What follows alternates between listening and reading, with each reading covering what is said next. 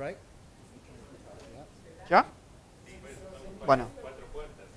Bueno, empecemos ahora eh, nuestro encuentro semanal del Seminario de Ecuaciones Diferenciales y Análisis Numérico. Es siempre un placer acá recibir a todos ustedes, parando una hora de sus laburos para, para vislumbrar a charla de nuestro invitado. Gracias, profesor Julio Daniel Rossi, por aceptar la invitación. Julio es un viejo conocido acá de nosotros. Viejo, no viejo, claro. No, pues, conocido. suficientemente viejo. professor acá, fui professor e também membro do, do CONICET. Ele trabalha em tópicos de equações e irá tratar hoje de um, um tópico que, que, por lo menos há 10 anos, creio que vem trabalhando, não, Julio? Que é problemas que involucram equações e um pouco de probabilidade, que é teoria de, de juegos. Uma mescla bastante interessante. O tópico de hoje é a Free Boundary Problem with Gradient Constraint and Tug of War Games. Gracias, Julio. Muchas gracias, Joao. Eh, bueno, para mí, como siempre, es un placer dar una charla en este departamento, donde soy parte del, del, negocio, así que muchas gracias por la invitación. Lo que les quiero contar es un trabajo conjunto con Pablo Blanc y el propio Joao Víctor da Silva, y lo que voy a hacer durante la charla es, no voy a hacer ninguna demostración, no va a haber demostraciones, ni siquiera ideas de las demostraciones, lo único que quiero contarles es un poco de dónde sale el problema, cómo aparece, cuáles son los resultados que podemos obtener y dónde está la dificultad o dónde están las dificultades que uno quiere salvar y alguna cosa de por qué esto es diferente de problemas anteriores con esto de los jueguitos. Entonces, eh, bueno, ahí está todo, está mi dirección de correo electrónico, la página web y vamos a empezar con el, con el negocio. Empecemos con matemática, que es mucho más divertido no es más divertido que el mundial, pero es más divertido que otras cosas. Entonces, lo que quiero hacer es pasar al límite cuando P tiende a infinito, que es otra cosa a la cual me dediqué y me sigo dedicando de vez en cuando porque me gustan mucho estos límites. P tendiendo a infinito o P tendiendo a 1, dan límites singulares que son curiosos para mí, este problema. Tengo solución de un problema elíptico donde lo que aparece es la característica del conjunto donde la función es positiva, que a priori depende de la propia función, con un dato de borde GDX y el P laplaciano es la divergencia del gradiente de UP menos 2 gradiente de U, el claro operador clásico por todos bien conocido. El dominio omega, voy a pensar que es un dominio suave, regular, sin problemas de ningún tipo, ni ángulos, ni nada por el estilo. Es una bola si quieren. Perdón, pero se me va esto de la oreja. Y el, ¿qué más? El, el dato de borde al principio lo voy a suponer continuo, pero voy a pensar que es Lipschitz. Al final de la historia va a ser un dato Lipschitz. Muy bien, entonces, con esta cosa, este problema tiene un funcional de energía asociado. El funcional de energía lo menciono sobre este conjunto, conjunto donde el dato de borde se toma en sentido de trazas. El funcional de energía lo menciono simplemente porque todas las estimaciones que uno hace las saca de acá. Las saca de que esta cosa esta norma, el EP del gradiente va a estar acotada por una constante independiente de todo, independiente de P, independiente de la U y puedo pasar al límite tranquilamente. Pero no es, no, es fundamental y no voy a hacer ninguna cuenta de por qué esto es así. Muy bien, entonces empecemos por motivación, empecemos a pensar por qué este problema tiene algún interés, o por lo menos por qué tiene algún interés para mí. No sé si tiene algún interés para alguien más que para mí, pero bueno, por lo menos para Pablo Blanco y yo a Víctor, más les vale, porque... Entonces, ¿por qué este problema tiene algún interés? Lo que hicimos antes con Petri Jutinen y Mikko Parviainen, los dos están en Jyväskylä, en Finlandia. Finlandia ni siquiera clasificó, lo cual es una cosa bastante... sea, pero bueno, lo que hicimos con ello fue pasar al límite en este problema, donde lo que tengo ahora es una función f de x fija y no negativa. Y de vuelta el dato de borde es el mismo dato de borde anterior. Que la f no dependa de u, no tenga esta forma de la característica de donde u es positiva, simplifica la vida un montón, porque no hay que pasar al límite en esto, sino que es simplemente f todo el tiempo. Muy bien, si uno pasa al límite, uno toma límite cuando p tiende a infinito, encuentra que la sucesión up con p mayor o igual que 2 tiene una subsucesión, todos estos son resultados a través de subsucesiones que converge uniformemente hasta la clausura de omega a una solución, una función, un infinito, que es Lipschitz continua, pero que además es solución viscosa de este problema. Y este tipo de problemas son los problemas que, yo, que, se dice que tienen restricciones en el gradiente. ¿Y por qué uno piensa que esto tiene una restricción en el gradiente? Bueno, el operador que aparece asociado es el infinito laplaciano. El infinito laplaciano es la derivada segunda de la función en la dirección del gradiente, porque lo que estoy haciendo es multiplicando la matriz hessiana por el gradiente y por el gradiente traspuesto. Traspuesto tiene que ir en alguno de los dos lados, depende si el gradiente lo pienso vertical, vector vertical o vector horizontal, no me importa. Pero esto es la matriz por el vector, por el vector traspuesto, me da la derivada segunda en la dirección de ese vector y lo que tengo acá dentro es la derivada segunda en la dirección del gradiente de u. Pero tengo una restricción más, que es esta. Y ahí, entonces escribámoslo tranquilamente. Me, tengo el máximo entre menos el infinito laplaciano de u y tengo un menos un más. Yo siempre me olvido de los menos y los más. Mil perdones por eso. Menos el gradiente de u más la característica, lo que aparece en el límite es la característica del conjunto donde f es positivo. La característica de d, donde d es el conjunto donde la función f es positiva. Y cierro igual a cero. Recuerdo en un minutín quién era la función f. La función f era el término que me aparecía ahí. ¿Bien? Entonces, el máximo de dos cosas iguales a cero dice que las dos cosas son menores o iguales que cero y al menos una de las dos es igual. Eso quiere decir esta ecuación hay que pensarla como dos desigualdades. Esta y el menos gradiente de u más la característica de d menor o igual que cero y alguno de los dos que sea igual. Y esta cosa lo que dice es que el gradiente de u tiene que ser mayor o igual que la característica de d. Esto eh, es lo que se llama ahí la restricción, por eso se llama gradient constraint problems, lo que dice es en el conjunto D no puedo tener gradientes pequeños, tengo que tener gradientes grandes. Esta es la, la cosa. Entonces, ¿qué es lo que trata de hacer mi ecuación? ¿Qué es lo que trata de hacer esta ecuación con la función U? Pone su dato de borde, dato de borde, estoy dibujando en una dimensión, porque me resulta mucho más fácil. Pone el dato de borde G. Si la pendiente de la recta, de la infinito armónica, es mayor que 1, está todo bien, es la recta.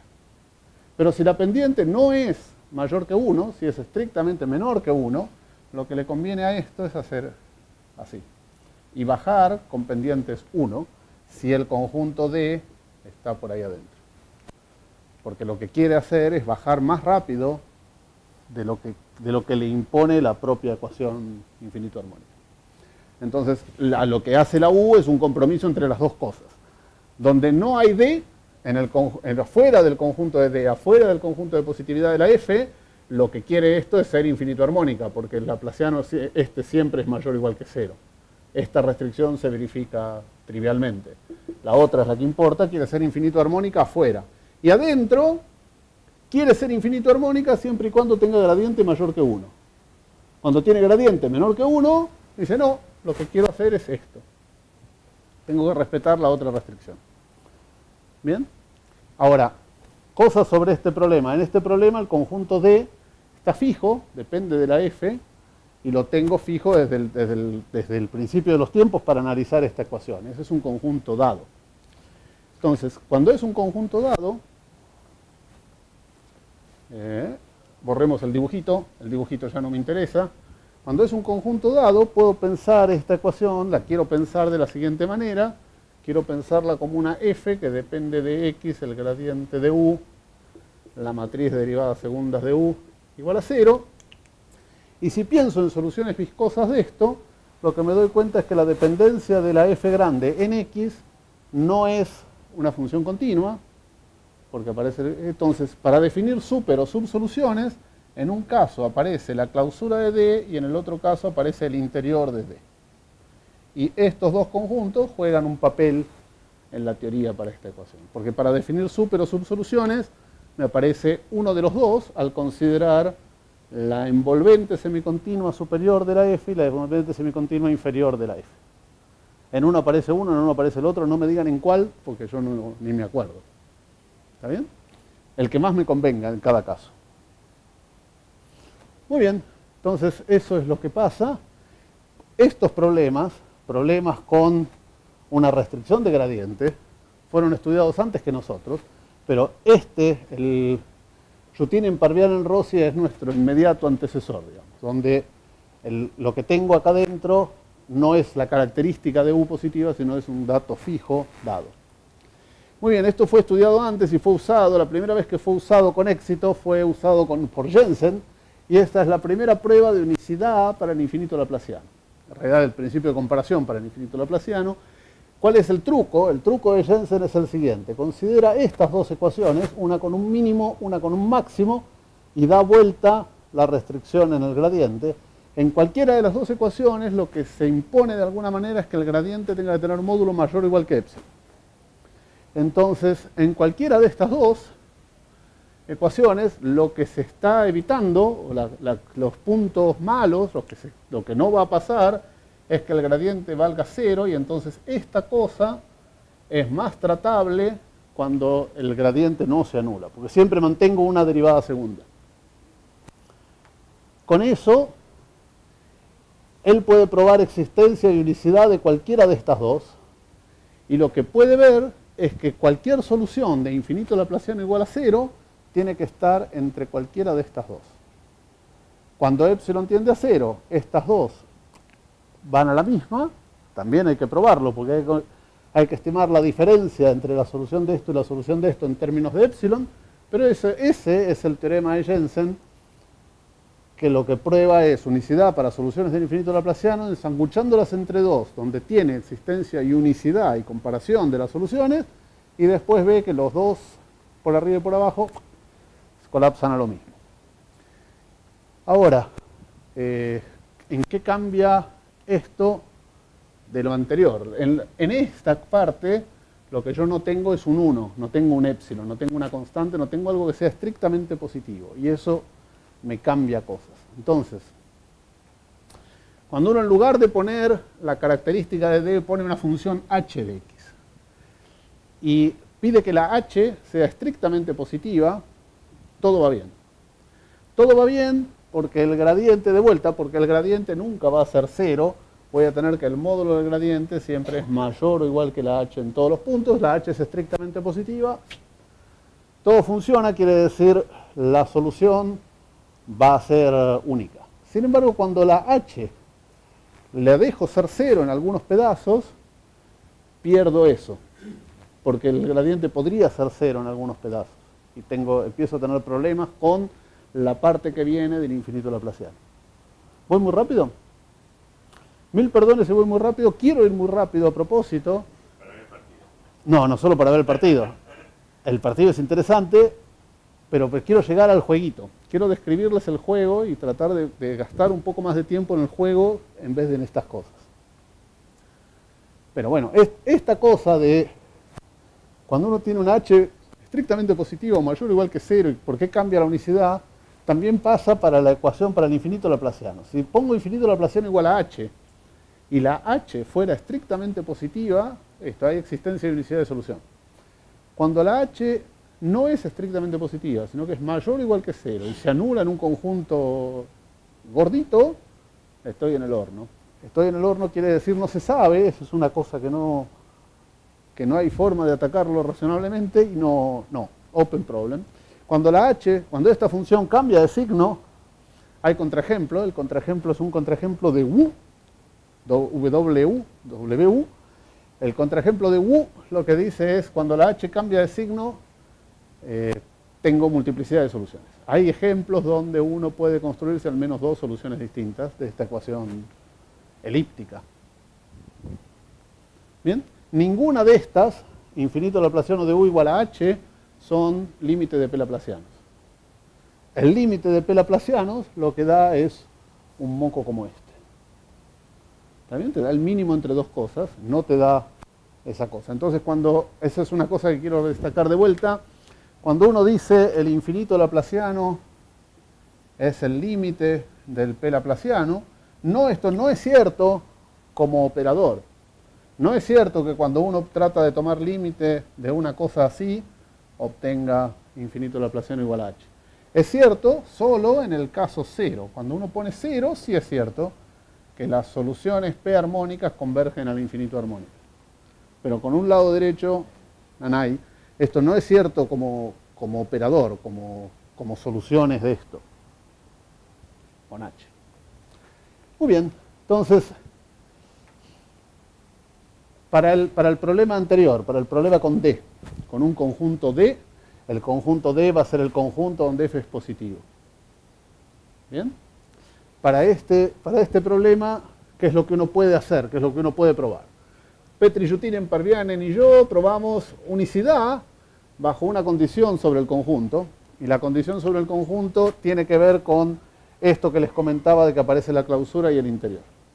La condición sobre el conjunto es que cuando uno toma el interior y, le clausura, lo clausura, esto da la clausura del conjunto. ¿Está bien?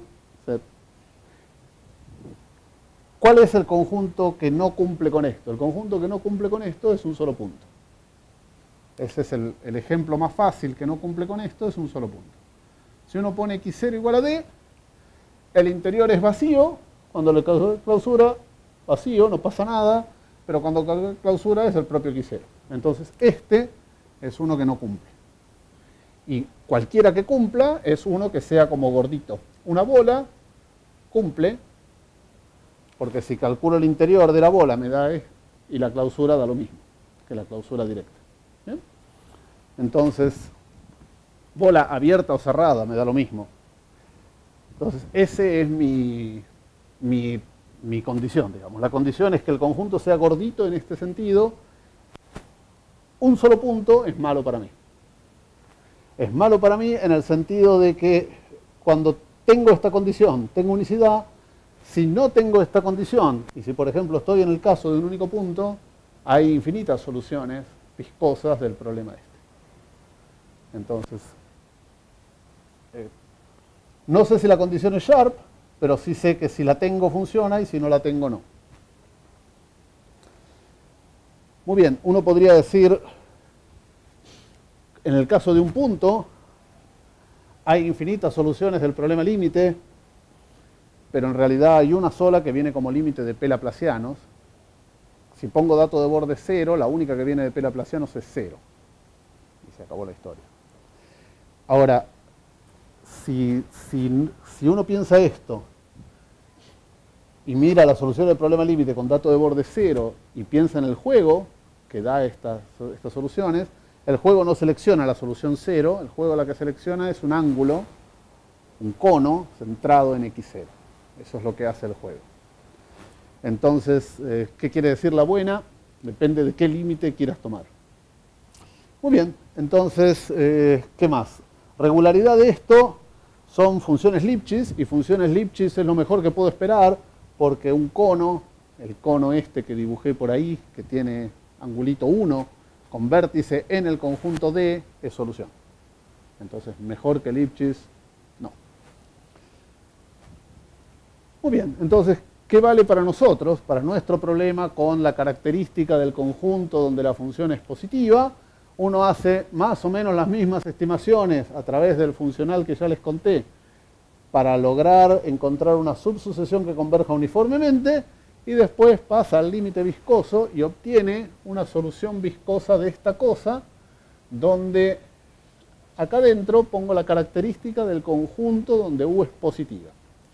Y hay que tener cuidado con esto y por eso puse la transparencia siguiente tiene la definición de solución viscosa y quiero detenerme dos minutos en eso. Así que denme un minuto antes de decirles qué solución viscosa de esto, pero lo que quiero decir ahora es hay una subsucesión y un problema límite y además hay regularidad óptima, regularidad Lipschitz continua.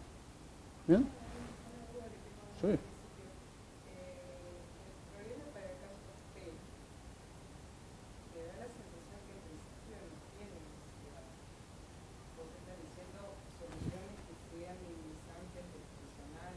Sí. Sí. Sí. Lo que yo digo es minimizantes de esto. Solo que convergen uniformemente a eh, esto. Efectivamente. Sí, grazie mille. Igual lo que, lo que a mí me interesa analizar es el problema límite, porque, porque me divierte más. Lo otro es una excusa para encontrar eh, que hay solución. Cómo construir. Es una forma posible de construir solución que no es el juego. Entonces, ¿por qué esto es diferente a lo anterior? Cuando uno mira este problema y trata de pensar en la envolvente, semi, cuando uno dice con un D, esto es discontinuo y me aparece la clausura de D o me aparece el interior de D, según quiera tener super y subsoluciones, en esto tengo que tener doble cuidado. Y el por qué tengo que tener doble cuidado es porque para una función cualquiera, si uno pone la clausura del conjunto este, no es este conjunto en general. Y el ejemplo fácil es una función que sea positiva, tenga un pedazo cero y después negativa. El conjunto de positividad es este, la clausura es este pedacito, y sin embargo el conjunto donde la función es mayor o igual que cero es todo esto. Es mucho más grande. Entonces, cuando uno define super y subsolución viscosa, tiene que tener cuidado, y por eso gasto una transparencia en decirles qué es lo que vale lo que vale es que para definir super y subsolución viscosa, lo que tengo que poner acá no es como hacía antes la clausura del conjunto D o el interior del conjunto D, sino el conjunto donde la U es mayor o igual que cero o el conjunto donde la U es estrictamente positiva. Entonces, para un lado, sí. Es, es lo que, sí. Te dan, bueno, te dan definiciones diferentes cuando tengas una cosa así, sí. Sí.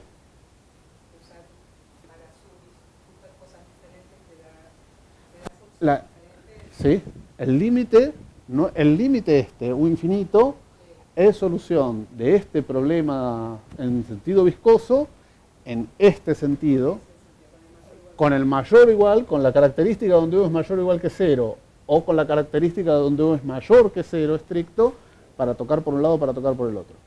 Y eso no es lo mismo que agarrar y decir, elijo este conjunto, donde tengo, la, tengo el marcadorcito, no es lo mismo que elegir el conjunto este y usar la definición anterior con esto, con como si este estuviera fijo. Este depende de la propia U. Tengo que tomar en cuenta que depende de uno, es solo una función de X. Y la forma que sale, en realidad es la forma que sale cuando uno pasa al límite. Cuando uno pasa al límite, la forma que sale es, verifica estas dos cosas y no esas dos. Y la diferencia está en que la U puede tener o podría tener un conjunto más grande donde vale cero. ¿Bien? Entonces hay que tener un pelín de cuidado con eso. Tengo un azul, vamos a jugar con el azul y vamos a hacer colorines después. Muy bien, entonces esto, observación, esta cosa siempre la puedo escribir como un fully nonlinear, no sé qué, con el máximo de esto y eso, y este, este f infinito es elíptico porque es monótono en la matriz de derivadas segundas, pero no cae en el crandall no cae en la teoría clásica donde uno puede decir existencia inicial de solución fácil, ¿Y por qué no? Porque esta cosa no es uniformemente elíptica. Y ni a palos va a ser, porque lo que tengo de este lado es algo que, es elíptico y degenerado, pero además está eh, pesada o, en, un máximo con una cosa de primer orden, que ni siquiera tiene la matriz de derivada segunda. Entonces, no tengo ninguna chance de que sea uniformemente elíptico. Tengo que hacer unicidad de otra manera. Muy bien, con, esa definición de supersolución y de subsolución, que es la que sale cuando uno pasa al límite, haciendo truquitos del tipo los de Jutin en Parvianen anteriores, se puede probar, eh, se puede probar comparación y entonces unicidad. Y lo que sale es que si tengo dos datos de borde ordenados para el problema este, entonces las dos, las dos soluciones correspondientes van a estar ordenadas. Son dos cualesquiera soluciones, no te importa si vienen de pelaplacianos o no, de pelaplacianos no voy a tener una única. Entonces, sé construir una porque sé tomarle límite al pelaplaciano, con eso construyo una solución, sé que para cada dato tengo una solución tal, y después el probar comparación es hacer hacer el truco de siempre. ¿Qué quiere decir el truco de siempre? Suponer que no, suponer que hay un punto donde la cosa se dio vuelta en el interior. En ese punto interior tengo que construirme funciones test de manera adecuada y entonces lo que tengo que hacer es perturbar, eh, ¿dónde estoy? Perturbar estas para conseguir en alguna de las dos un mayor estricto o un menor estricto y una vez que tengo en alguna de las dos un mayor estricto o un menor estricto, sí la cosa funciona pero no, no, sin detalle. Pero sí, estas son, dos soluciones cualesquiera. U1 infinito es una solución correspondiente a G1, U2 infinito es una solución correspondiente a G2. De nada, soluciones viscosas. Esto es comparación de dos soluciones viscosas. Dame una solución viscosa de G1, que sé que existe porque tomé límite de Pelaplaciano, pero no me importa, si la sacaste del bolsillo y me la diste, yo te la comparo con la otra. Ese es, el, ese es el resultado. Y esto implica unicidad claramente, porque los das vuelta y te dan igual. ¿Está Comparación implica unicidad. La cuenta se basa en el, truco este de Jutir en anterior, pero no es exactamente el mismo, porque hay que tener cuidado con las características.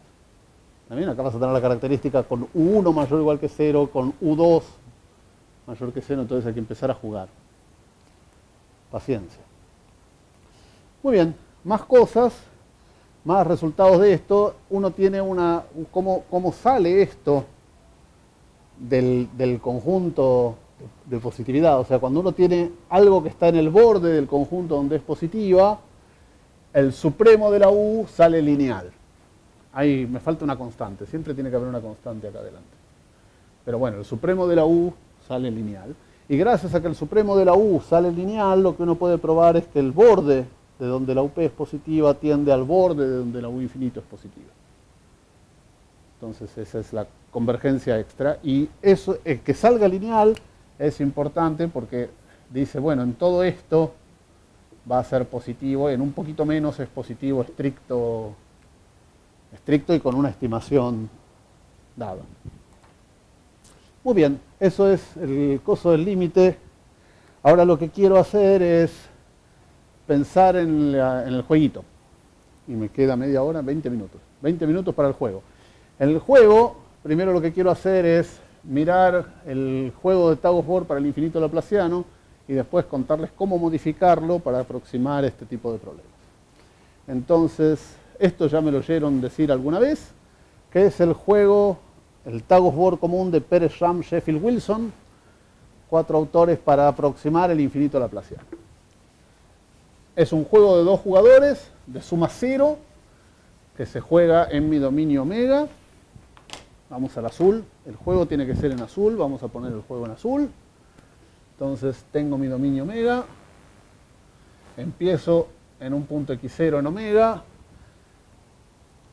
es un juego de suma cero, uno de los dos jugadores trata de maximizar el valor esperado y el otro trata de minimizar el valor esperado. Uno le va a pagar al otro la cantidad que dice un dato de borde. El dato de borde tendría que ser G, porque tengo G en el borde. Mil perdones por esto.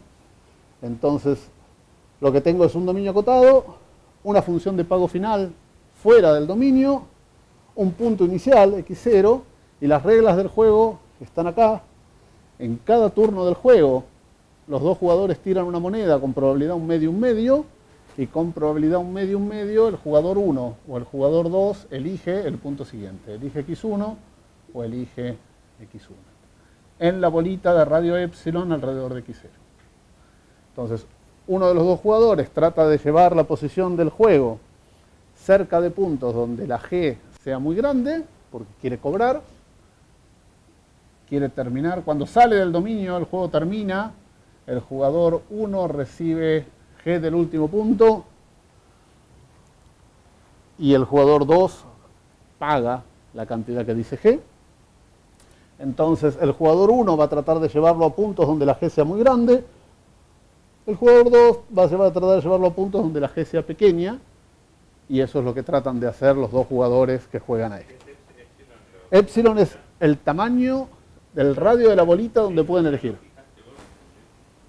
Para cada epsilon juego este juego y después lo que quiero hacer es cuando epsilon tiende a cero, a dónde van, a dónde va esto y esto va a ir a parar a la solución del eh, correspondiente problema anterior.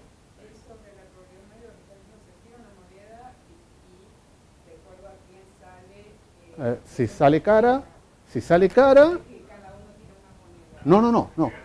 Se tira una moneda, el que gana elige.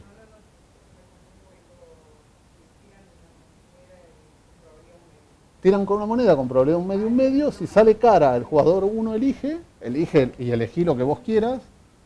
Eh, elegí por acá. Y si sale cruz, si sale seca, el jugador 2 elige lo que él quiere. Pueden elegir quedarse en el mismo punto, ¿eh? pueden hacer la, la, estrategia completamente inútil, porque vas a tratar de ir a puntos donde te paguen más, pero podrías decidir quedarte quieto.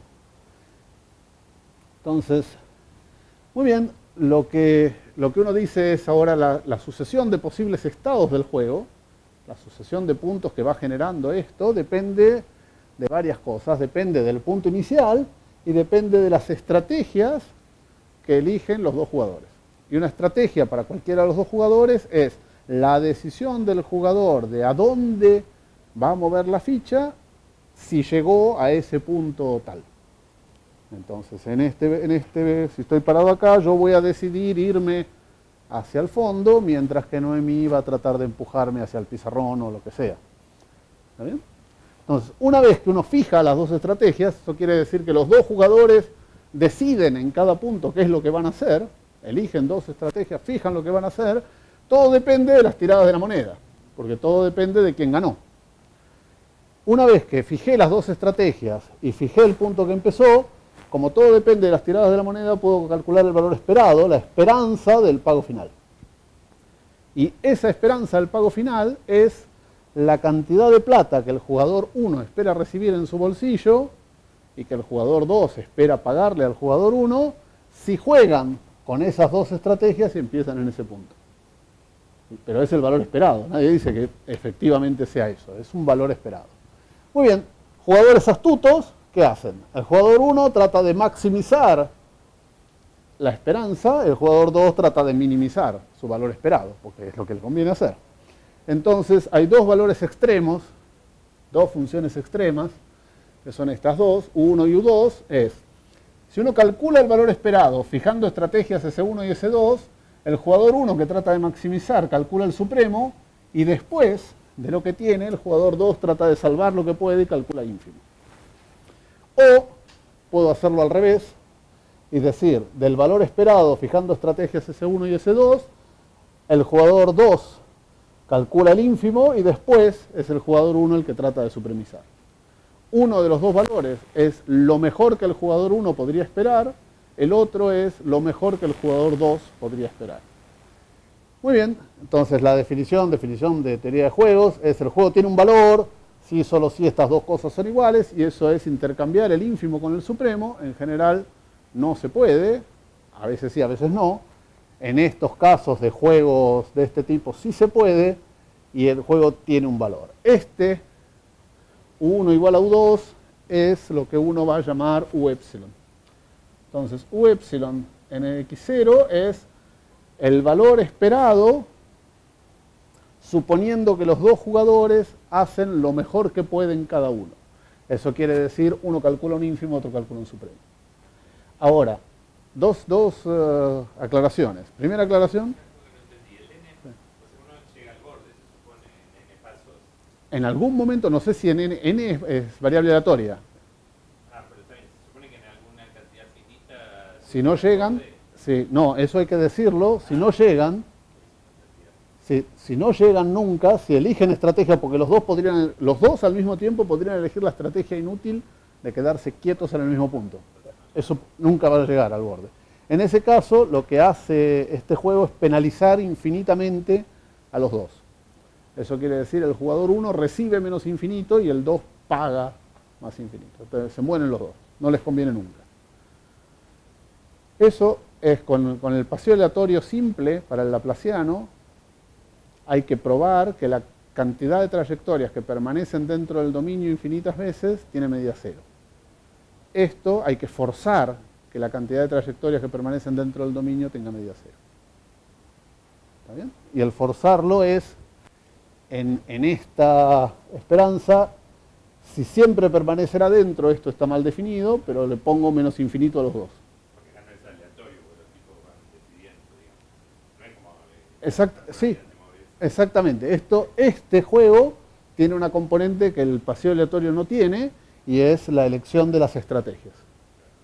No depende solo de las tiradas de la moneda, depende de dónde los dos jugadores deciden qué hacer con su vida. Ahora, si calculan supremo ínfimo, si tratan de hacer lo mejor que pueden hacer, o se obtiene un valor, una función, que no depende de nada. Depende solo del punto inicial. Este, una vez que calculé supremo ínfimo, ya no depende de las estrategias. ¿Está bien? Y si coinciden, ese es el valor bueno, digamos, para, para jugar.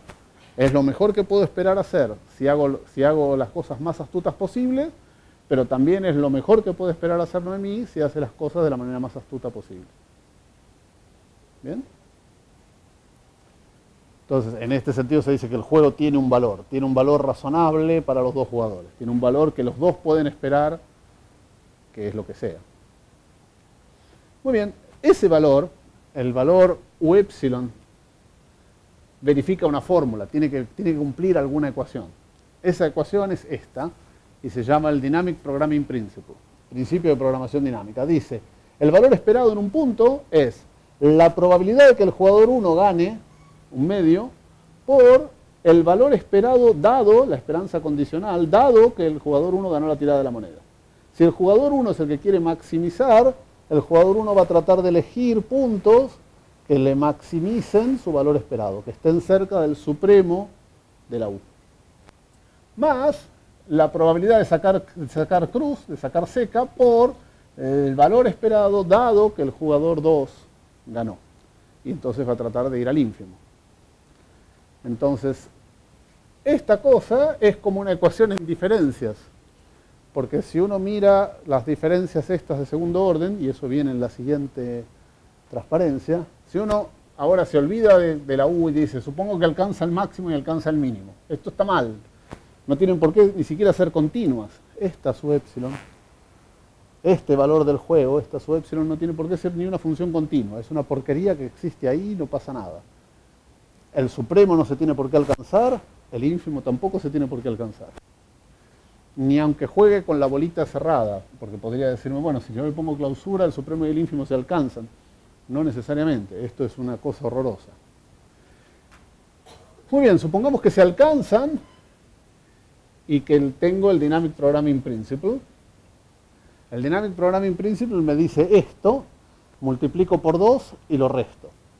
Entonces lo que tengo es menos 2u en el medio y dos puntos que no van a estar enfrentados, pero casi. ¿Y por qué no van a estar enfrentados, pero casi?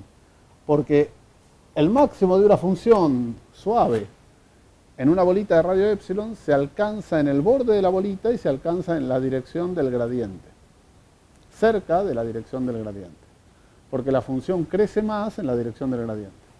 Y el mínimo se alcanza en un punto que está cerca del centro de la bolita menos epsilon por la dirección del gradiente. Entonces, la fórmula que tengo acá, que es mi principio de programación dinámica, en realidad lo que dice es algo parecido a la U en el centro de la bolita más epsilon por la dirección del gradiente, este B es la dirección del gradiente, en la dirección contraria, menos 2U de X. Divido por epsilon cuadrado y lo que tengo es una discretización de la derivada segunda en la dirección del vector B a segundo orden. La segunda orden no me interesa, lo único que digo es esto, lo que me da es una especie de discretización de la derivada segunda en la dirección del gradiente. Y por supuesto esto es puro bla bla, porque si el gradiente se anula estoy en el horno. ¿Bien? Hay que hacerlo con doble cuidado. Muy bien, entonces, si uno recuerda que era la derivada segunda en la dirección del gradiente, eso era el infinito laplaciano, y el teorema de Pérez Ram Sheffield Wilson dice que cuando epsilon tiende a cero, los valores del juego jugando en bolitas de nivel epsilon convergen uniformemente a una función y esa función es la única solución de este problema. Entonces, hay una forma de probar que el infinito laplaciano igual a cero con datos de borde f tiene una única solución, existencia y unicidad de solución, que no pasa por tomarle límite al p laplaciano. ¿Cuál es, ¿Cuál es una de las posibles ventajas de esta aproximación a esta cosa? Una de las posibles ventajas es esta, es que para definir esto no necesito tener un espacio vectorial, necesito solo un espacio métrico. Entonces puedo, hacer, puedo decir que es el análogo del infinito laplaciano en una cosa donde no puedo calcular derivadas, donde no hay una estructura vectorial para calcular derivadas. El análogo al infinito laplaciano es simplemente un límite uniforme de cosas que verifiquen esto, esa fórmula. Muy bien, entonces, ahora el objetivo final de los últimos cinco minutos claves es eh, mostrarles un juego que aproxime soluciones de nuestro problema original con la característica de U positivo. Entonces vamos para atrás y veamos qué es lo que quiero. Lo que quiero es un juego que aproxime soluciones de esto. Que es mucho más complicado porque tengo un máximo afuera, pero sobre todo porque tengo esta cosa de la característica de U positivo dando vueltas. ¿Qué, ¿Qué, es lo que complica de la característica de U positivo? Lo que complica la vida de la característica de U positivo es lo siguiente, y es que uno no puede definir un juego de manera correcta diciendo que un jugador hace algo dado que su, valor esperado es positivo. ¿Y por qué uno no puede hacer eso? Porque uno tendría que, en el punto tal, el jugador uno tendría que tomar una decisión conociendo el futuro, conociendo de antemano que su valor esperado en ese punto es positivo. Eso no. ¿Y por qué no? Porque las estrategias, hay algo que yo no dije antes, es que las estrategias tienen que ser medibles respecto de las tiradas de la moneda, respecto de la medida que estás usando para calcular la esperanza. Entonces, si uno se mira en un punto y trata de decir lo que va a hacer conociendo el futuro, eso no es medible. Porque la información del siguiente paso no la puedo usar. Me agrega algo a la sigma álgebra que no, que no tengo en principio. Entonces, eso se llama eh, que las estrategias sean anticipating o no anticipating strategies. Y lo que yo necesito para definir el juego de manera correcta, para que todo esto tenga estrategia, medibilidad, tener ínfimo, supremo, poder cambiarlos, etc., es no puedo usar el propio conjunto donde la U es positiva en mi, en mi historia. Pero puedo hacer cualquier otra cosa. Muy bien, entonces esta es, la verdadera dificultad que uno quiere solucionar, que uno quiere entender cómo definir un juego que diga, que, que, aproxime soluciones de este problema, sin nunca tratar de mirar cuál es el valor esperado de la U para decidir. Muy bien, y en realidad en esta transparencia está la dificultad de toda la historia, porque lo anterior, es probar existencia y unicidad, existencia es pasar al límite en el P laplaciano, eso es razonable. La unicidad hay que hacer un truco, porque la definición de solución viscosa tiene esta cosa partida que les decía, pero este es para mí el principal punto de por qué esto tiene algún color. Entonces, el juego ahora es el siguiente. Vamos a describir el juego tranquilamente. El juego también tiene dos jugadores. Jugador 1, jugador 2.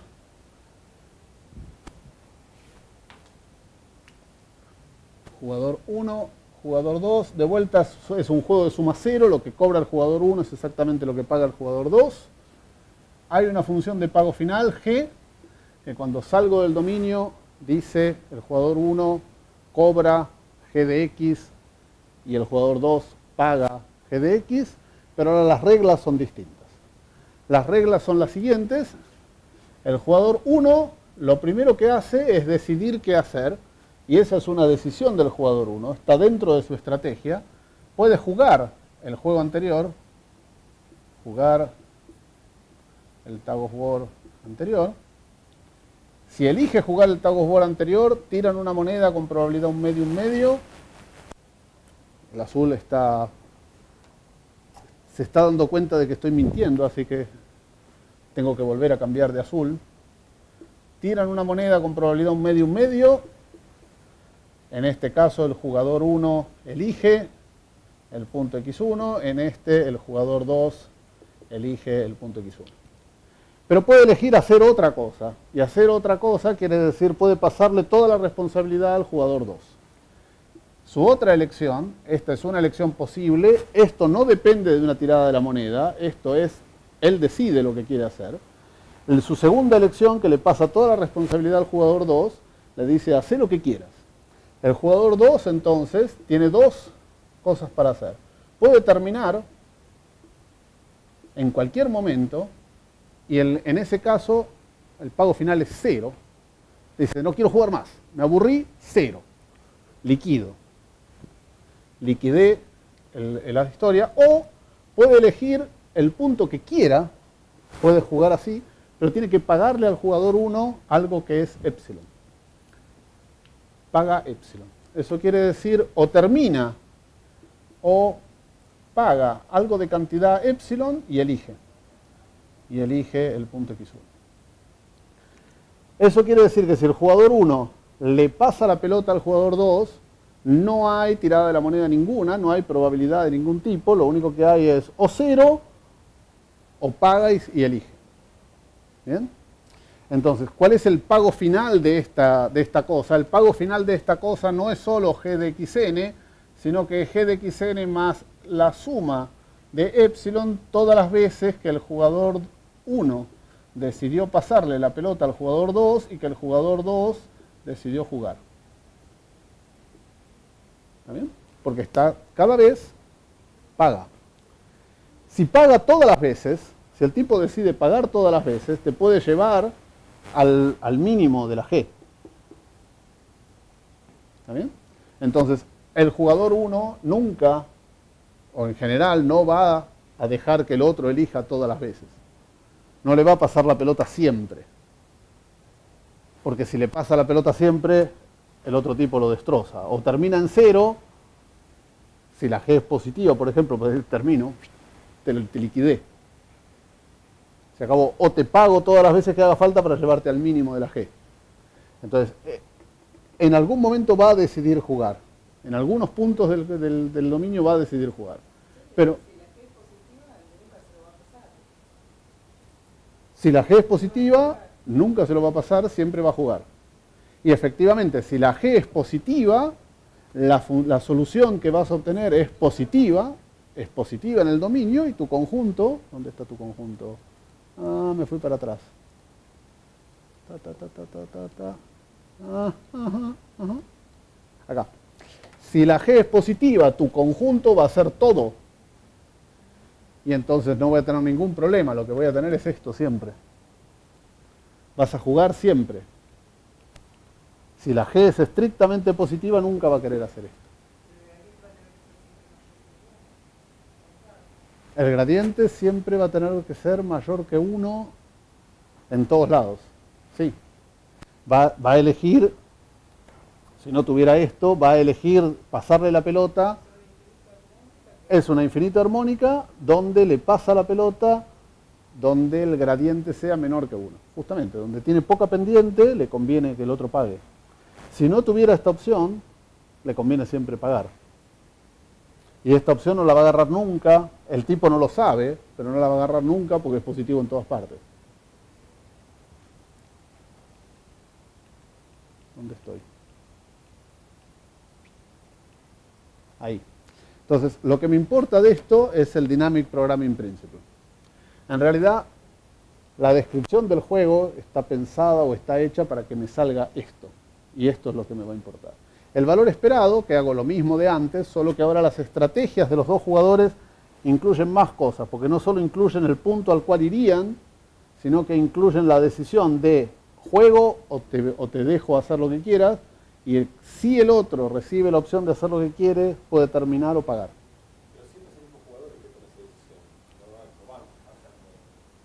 El jugador 1, que es el que quiere, en este caso, minimizar, por eso lo puse así, el jugador 1, que es el que quiere minimizar, toma la primera decisión, el jugador 2, que es el que quiere maximizar, toma la segunda decisión. No, no, no, no, el ju- el juego es asimétrico. Los dos jugadores no tienen las mismas reglas. El jugador 1 puede decidir o juego tirar la moneda al azar, juego o te, lo- o te doy la oportunidad a vos. Si te doy la oportunidad a vos, el jugador 2 puede o liquidar y decir no juego más, paga cero de pago final, pero, pero pagó todo lo que pagó antes. ¿eh? O elige dónde ir, pero paga. Pero en este caso eligió.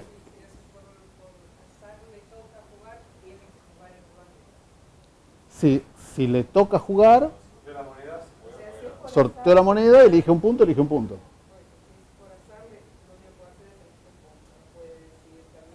No, no, no, no. El jugador, primero elige el jugador 1, termina. De, eh, elige el jugador 1, determina si juegan o si hace el 2 lo que quiere. Y si hace el 2 lo que quiere, el tipo está obligado a comprar o a terminar. Y después vuelve a empezar. En el siguiente punto, vuelvo a empezar. Yo decido si tiro la moneda o si te dejo elegir lo que vos quieras. Si tiro la moneda, probabilidad un medio, un medio, yo elijo el siguiente punto o vos elegís el siguiente punto con probabilidad un medio, un medio. Si te dije, si te dejé la decisión, vos me podés decir, no, se acabó, ah, terminé. O me tenés que comprar el turno pagándome epsilon, pero elegís el punto que quieras. Y yo ya no elijo. En esto yo ya no elijo nada. No elegí. Mi única oportunidad de elegir el punto siguiente es esta. Pero por ahí me conviene vendértelo porque voy a recaudar epsilon en my pocket. ¿Está bien? Hay que decidir cuándo. El decidir cuándo e- es, es muy hincha porque... Sí, no importa. No, no será ni la primera ni la última vez. Estas estrategias óptimas nadie dice que se alcancen de verdad. Este ínfimo es un ínfimo, este supremo es un supremo. No, no dice en ningún lado de ningún libro de estos de probabilidad horrible que esto sea un ínfimo, un mínimo y un máximo. Entonces, no es cierto, o no sé si es cierto, no tengo idea de si es cierto, que en cada, en cada paso de esto, el jugador 1 tenga la decisión clara de qué hacer. Y el jugador 2 también tenga la decisión clara de qué hacer. Si juegan todas las estrategias posibles, el jugador 1 hace todas sus elecciones posibles, el jugador 2 hace todas sus elecciones posibles, y uno calcula ínfimo, el otro supremo, o los da vuelta, tienen el mismo valor y ese valor cumple con esta fórmula. Eso es lo que se afirma. Pero tendría que jugar el juego, no solo jugar el juego infinitas veces, sino que además de jugar el juego infinitas veces, tendría que jugar el juego infinitas veces con infinitas estrategias posibles. ¿Está bien? Muy bien, entonces, ¿este valor esperado qué es? El valor esperado es el mínimo, el jugador 1 quiere minimizar, de jugar el juego anterior, probabilidad de que el jugador 1 gane la moneda por la esperanza, dado que el jugador 1 ganó, probabilidad por la esperanza de que el jugador 1 perdió, o, ahí hay un punto y coma, dejarle al otro, el otro quiere maximizar, maximiza y maximiza entre cero, que es terminar y se acabó, o el, el mejor que puede elegir, que es el supremo, pero menos epsilon porque pagó. Muy bien, si uno hace las cuentas con cariño y pasa al límite cuando epsilon tiende a cero en esto, puede ver primero que esta sucesión o epsilon converge uniformemente en omega y después de esta fórmula sale que es solución de algo entre el infinito laplaciano y de ahí sale el gradiente y cero. Y el cero es la restricción justa de donde u epsilon es mayor que cero o menor que cero. Ahí es donde salta qué es lo que va a pasar. Entonces, este juego es un juego apropiado, astuto, en el sentido de que la función valor de este juego sí converge uniformemente a la única solución viscosa del problema límite. Muy bien, referencias. ¿Qué?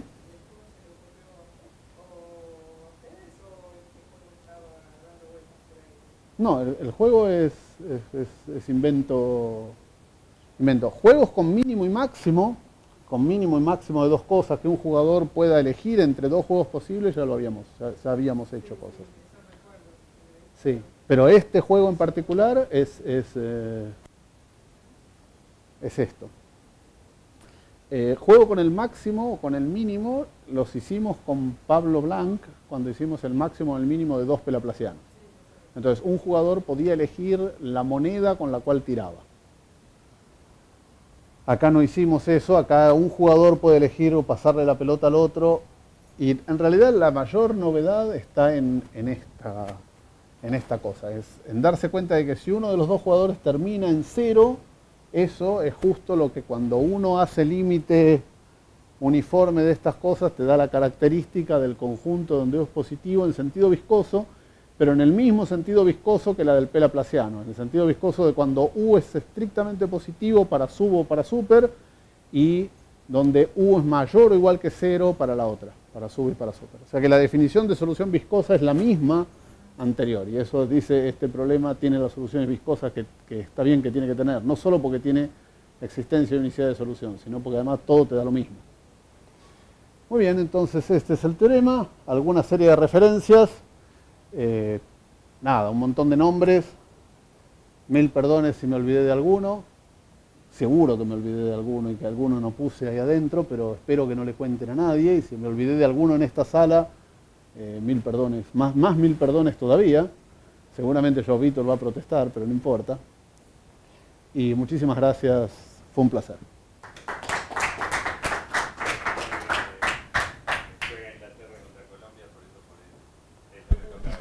Pero no quiero tirar, ahí, ahí no quieren tirar una moneda. Claramente no quieren tirar una moneda.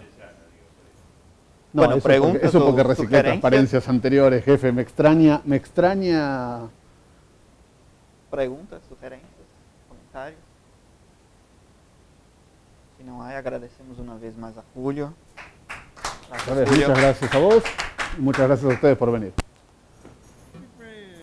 Muy bien, sí, sáquenme esto de una vez, ¿no? O sea, esto,